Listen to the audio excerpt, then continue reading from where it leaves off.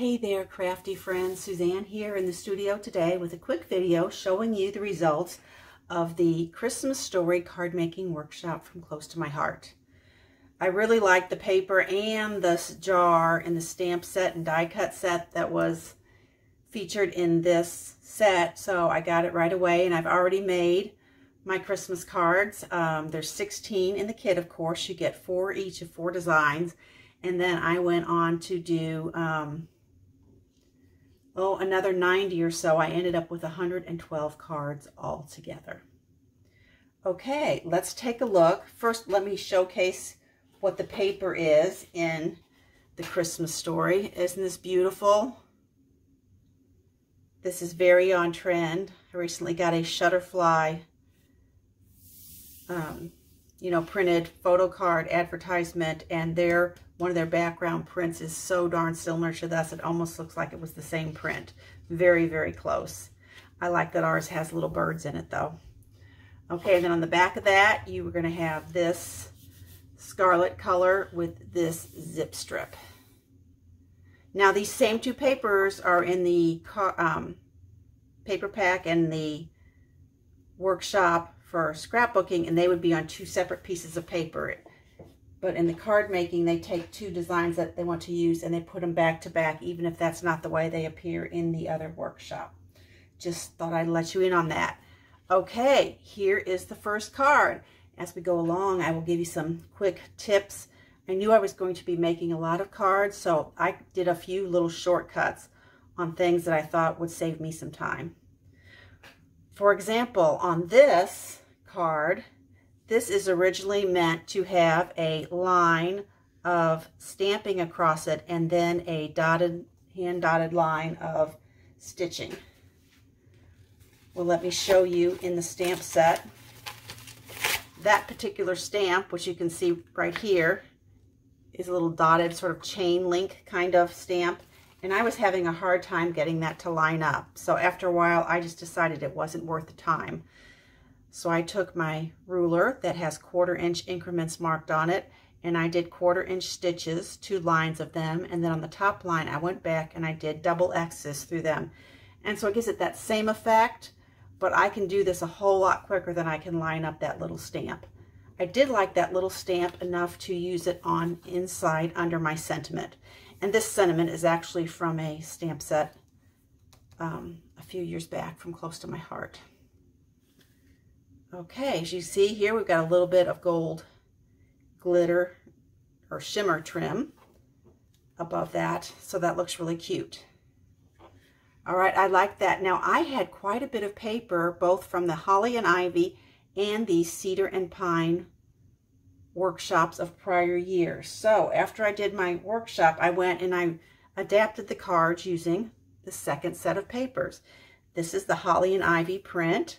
And this is a piece of our Seabrook. This cardstock is our Seabrook. The other change here I made is I decided to, instead of shimmer trim, I was using a um, zip strip there. And then I decided to tuck it under and just have one side of it fishtailed. All of those things made it a little bit quicker card with the same general feel though. Okay, that's the first one. Here's the second one. This is really pretty as well. Here we've got the dark paper as our background. And then this strip of paper of cardstock down the middle, this is actually, they have you cut two small pieces. So you're putting a piece here and a piece here, and then you're covering up the fact that it doesn't go all the way through um, with this center panel. To be honest, it's time consuming to get these two to line up. So after a while, I just decided to, I had plenty of the paper, so I just decided to go ahead and cut the cardstock the full length and make it quicker to put it down. Again, when you're doing 100 plus cards, you got to save time wherever you can. Otherwise, this is pretty much as they say. Here we have cedar and pine version of this card. As you can see, I've used peach is this background here. And then the dark I've used as the piece behind. I've used a black shimmer trim and then the green pattern paper there. I also added in some epoxy little flowers and dots from my stash. So I really like how that turned out. So there are those two.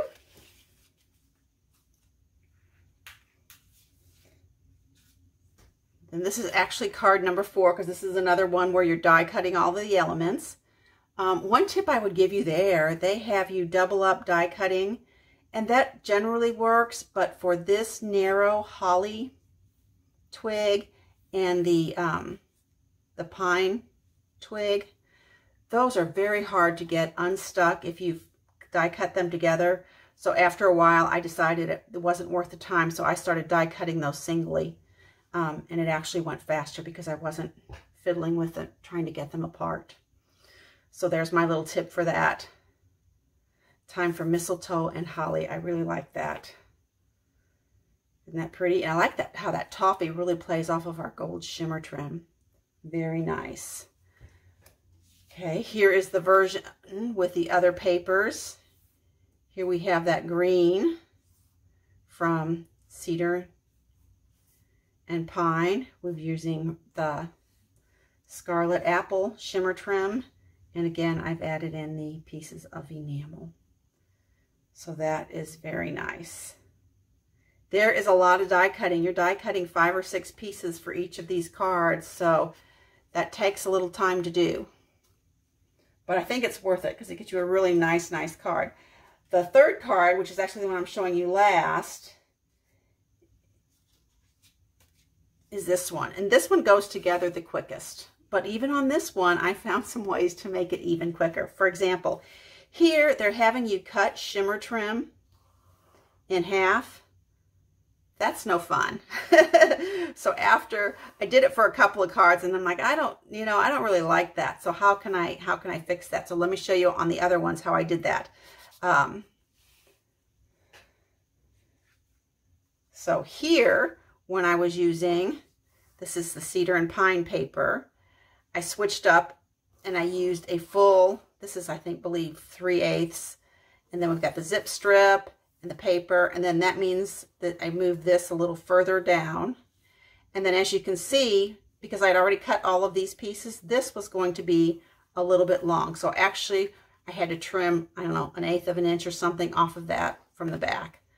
But still, that was a lot easier than trying to um, cut shimmer trim in half. So making it easier for myself. This is actually, I used up what little black shimmer trim I had. This is actually black glitter paper. So you can get the exact same look with our glitter paper as you can with our shimmer trim. Very, very sparkly. And then after that, I also had some Scarlet Apple Shimmer Trim. So here is another version of that card. As I said, this one was very quick to put together. So when I was really needing to up my, up my throughput, I went with this one. And again, this card here, they would have you stamp that chain link kind of pattern. And I just decided to draw it instead. So altogether it was like 112 cards. And I think I did about maybe four sessions of about three or four hours each. Then at that point, I was cleaning up the desk and I managed to make what I call a few clean desk cards. Here is the first one. Now this is just using whatever die cuts I had left over, you know, without having to go back and do anything else and just kind of matching up the hodgepodge of die cuts I had left. One strip of the pattern paper here and then some shimmer trim and then two die cut, I mean hand cut fishtail flags here and then some sparkly gems from my stash. Here's kind of the second iteration of that. We've got the bottom sheet, then we've got a smaller top sheet, and then I have used candy apple shimmer trim here for the fishtail flags, as well as for the corner. So I like how that kind of balances things out. And then again, here we just have greenery coming out of this. and then the gems. And then last but not least, I have this one. Here we have the black cardstock behind the green. And then we've got two zip strips and a piece of glitter paper. All three going all the way behind the